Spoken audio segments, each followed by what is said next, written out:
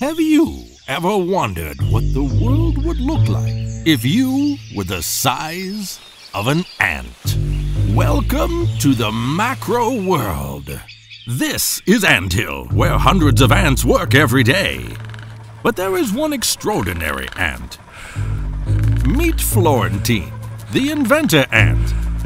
He hates all this routine work so much, he invented a mechanism that does the job for him.